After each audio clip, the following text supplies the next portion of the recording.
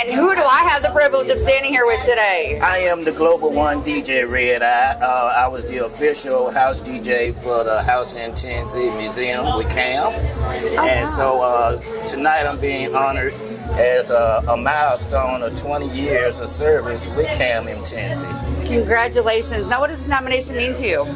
It means a lot for the simple fact uh, Cam has set a guideline for me to follow because he started my career off.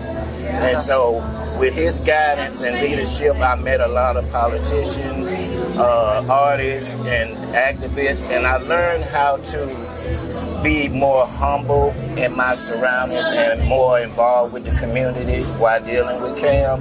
And so it had made me a better person as an individual overall and also being a DJ, I get a chance to put smiles on people's faces oh, yeah. at parties for something that I love to do. That is great. Now, so if somebody wanted to get a hold of you or follow you on social media, how would they get in touch with you?